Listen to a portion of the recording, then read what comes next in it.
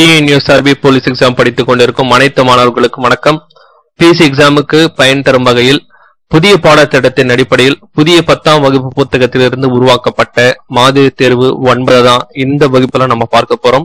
இதற்கு முன்பு நடைபெற்ற அனைத்து மாடல் எக்ஸாம் உடைய லிங்க் கீழே டிஸ்கிரிப்ஷன்ல பிளேலிஸ்டா கொடுத்துருக்கோம். அதை பயன்படுத்துங்க. கண்டிப்பா உங்களுக்கு ரொம்ப ரொம்ப ரொம்ப யூஸ்ஃபுல்லா இருக்கும். வாங்க இப்ப டைரக்டா மாதிரி தேர்வு ஒன்பதுக்குள்ள நம்ம என்ட்ராகலாம் சோ முதல் கேள்வி. பால் சுரப்பிகளில் பாலை வெளியேற்றுவதற்கான ஹார்மோன் எது? இதற்கு முந்தைய தேர்வில் தான் நம்ம பார்த்திருந்தோம்.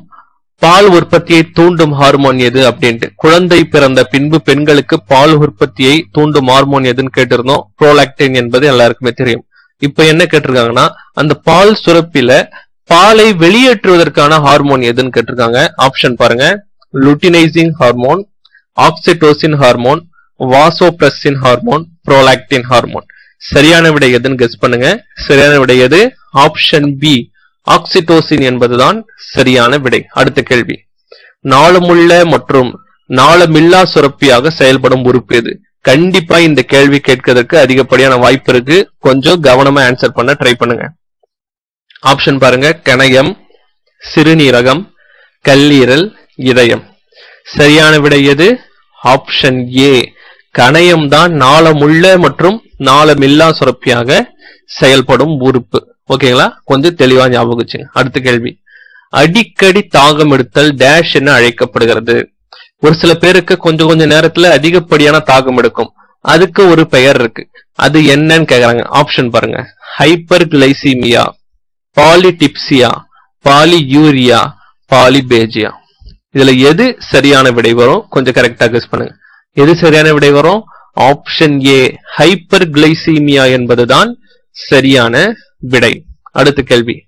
இரத்த சர்க்கரை அளவு அதிகரித்தல் டேஷ் என அழைக்கப்படுகிறது.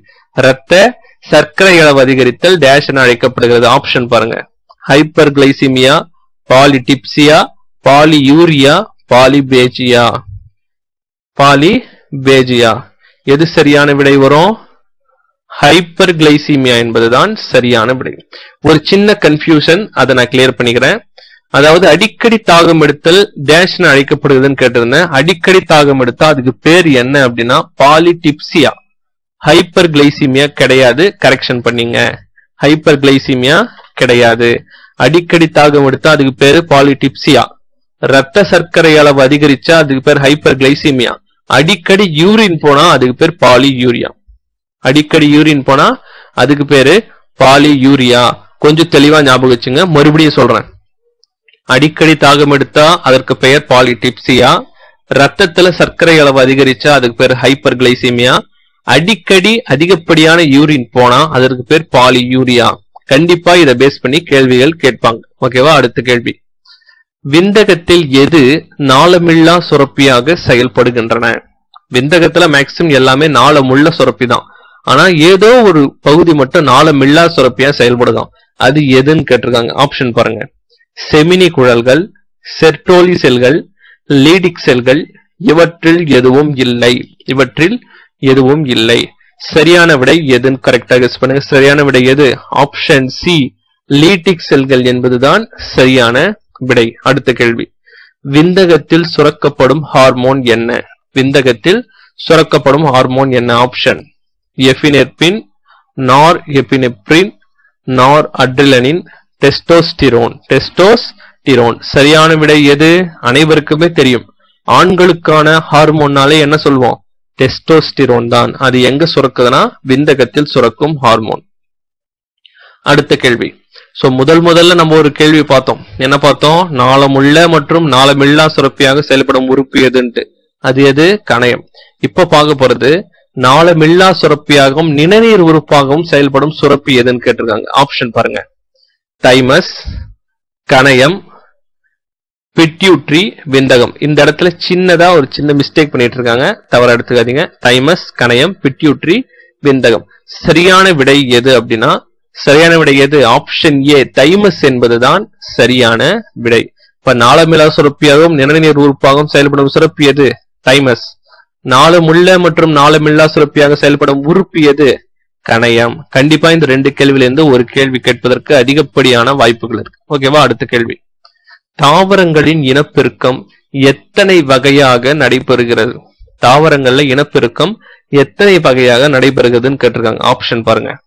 ஐந்து நான்கு இரண்டு மூன்று. ஐந்து நான்கு இரண்டு மூன்று. சரியான விடை எது? ஆப்ஷன் டி மூன்று வகையாக நடைபெறுகிறது. மூன்று வகையாக நடைபெறுகிறது என்பதுதான் சரியான விடை. அடுத்த கேள்வி. துண்டாதல் உடல இனப்பெருக்கம். கீழ்கண்டவற்றில் எதில் நடைபெறுகிறது? துண்டாதல் உடல இனப்பெருக்கம் கீழ்கண்டவற்றில் எதில் நடைபெறுகிறது? துண்டாடல் துண்டாதல் அப்படின்னா ஒரு உயிரி இருக்கும். அந்த உயிரியோட ஒரு பகுதி துண்டாயிடும். அந்த துண்டான உ- அந்த பகுதியை ஒரு புது உயிரியா உருவாயிடும். அதுதான் துண்டாதல் உடல இனப்பெருக்கம்னு சொல்லுவாங்க. சோ அது கீழ்கண்டவற்றில் எந்த உயிரில நடைபெறுதுன்னு கேட்டிருக்காங்க. ஆப்ஷன் பாருங்க. ஸ்பைரோகேரா அமீபா ஈஸ்ட் ஹைட்ரா இதுல சரியான விடை எதுன்னு கெஸ் பண்ணுங்க. சரியான விடை எது? ஆப்ஷன் ஏ ஸ்பைரோகேரா என்பதுதான் சரியான விடை. அடுத்த கேள்வி. எளிமையான கேள்வி கொஞ்சம் ஈஸியான கேள்வி. மலரின் பெண் இனப்பெருக்க பகுதி எது?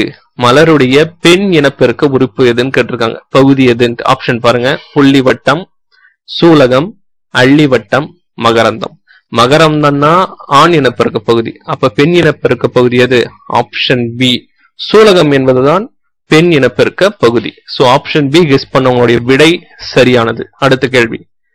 கீழ்கண்டவற்றில் எந்த தாவரத்தில் அயல் மகரந்த சேர்க்கை நடைபெறுவது இல்லை?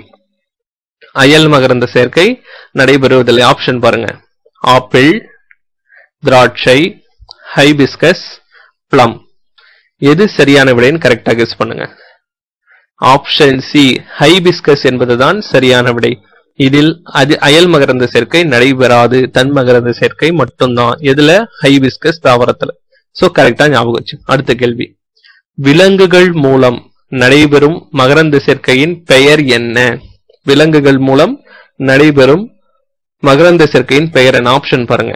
அனிமோபிலி எண்டமோபிலி சூஃபிலி ஹைட்ரோபிலி கண்டிப்பா எல்லோருமே என்- எதை கரெக்டா டிக் பண்ணுவீங்க சொல்லுங்க? அனிமோபிலி தான். ஏன்னா அனிமல் அப்படின்ட்டு வருது இங்கிலீஷ்ல.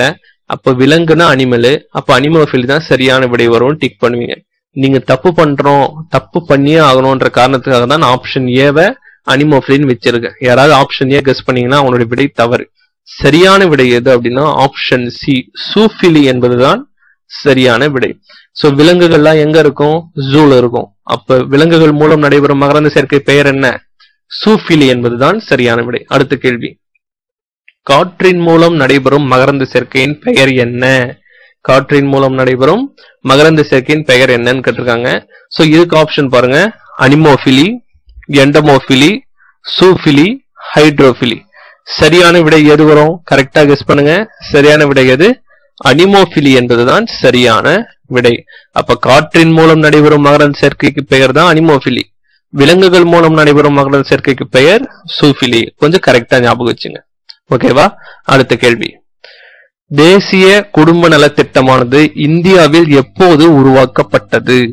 மிக மிக முக்கியமான கேள்வி. வரப்போற பிசி எக்ஸாம்ல கண்டிப்பா கேட்பதற்கு நிறைய வாய்ப்புகள் இருக்கு. தேசிய குடும்ப நலத் திட்டமானது இந்தியாவில் எப்போது உருவாக்கப்பட்டது? ஆப்ஷன் பாருங்க. ஆயிரத்தி தொள்ளாயிரத்தி ஐம்பத்தி ரெண்டு ஆயிரத்தி எட்நூத்தி ஐம்பத்தி நாலு ஆயிரத்தி எட்நூத்தி ஐம்பத்தி எட்டு ஆயிரத்தி தொள்ளாயிரத்தி ஐம்பத்தி நாலு. சரியான விடை எது? சரியான விடை எது? ஆப்ஷன் ஏ ஆயிரத்தி தொள்ளாயிரத்தி ஐம்பத்தி ரெண்டு என்பதுதான் சரியான விடை. அடுத்த கேள்வி மாதவிடாய் சுகாதார நாள் எப்பொழுது கொண்டாடப்படுகிறது? தயவு செஞ்சு இந்த கேள்வியை கரெக்டா நோட் பண்ணீங்க கேட்கலாம். ஏன்னா இதெல்லாம் வந்து பாத்தீங்கன்னா புதுமையா நம்மளுடைய புத்தகத்துல புகுத்தி இருக்காங்க அதனால இதெல்லாம் கேட்பதற்கு தான் நிறைய சான்ஸ் இருக்கு. ஆப்ஷன் பாருங்க. மே ஒன்னு மே பதினாலு மே பதினெட்டு மே இருபத்தெட்டு. சரியான விடை எது? சரியான விடை எது? ஆப்ஷன் டி மே இருபத்தி எட்டு என்பதுதான் சரியான விடை. இது ஈஸியா ஞாபகம் வச்சுக்கலாம். மாதவிடாய் எத்தனை நாளைக்கு ஒரு முறை நடைபெறும்? இருபத்தி எட்டு நாள். அப்ப இருபத்தி எட்டு ஞாபகம் வச்சுக்கலாம். மே மாசத்தை மட்டும் நீங்க ஞாபகம் வச்சுனா போதும். இப்ப மே இருபத்தி எட்டு என்பது சரியான விடை மாதவிடாய் சுகாதார நாள். ஓகேவா அடுத்த கேள்வி. இப்ப கேட்கப்படும் இப்போ அடுத்த ரெண்டு கேள்வி கேட்டிருக்கோம் இல்லையா? பதினாறு மற்றும் பதினேழு. இந்த ரெண்டு கேள்விக்கு யாரெல்லாம் பதில் சொல்றீங்களோ கண்டிப்பா அவங்க நல்லா தாவரவியல் அதாவது பாட்னி பகுதியை நல்லா படிச்சிருக்கீங்கன்னு அர்த்தம். சோ இந்த ரெண்டு கேள்வியுமே ஓப்பன் சேலஞ்சிங் கொஸ்டின் முடிஞ்ச அளவு மிக சரியா பதில் சொல்ல ட்ரை பண்ணுங்க. ஆப்ஷன் பாருங்க. மென்டலின் சோதனையின் புறத்தோற்ற விகிதம் என்ன? Option one is to three one is to two three is to one two is to one சரியான விடை எது? கரெக்டா கெஸ் பண்ணுங்க. சரியான விடை எது? Option C three is to one என்பதுதான் சரியான விடை. இப்ப பதினேழாவது கேள்வி பாருங்க. மென்டல் சோதனையின் இரு பண்பு கலப்பின் புறத்தோற்ற விகிதம் என்ன? ஃபர்ஸ்ட் பார்த்தது ஒரு பண்பு கலப்பு. இப்ப பார்த்தது இப்ப பார்க்க போறது இரு பண்பு கலப்பு.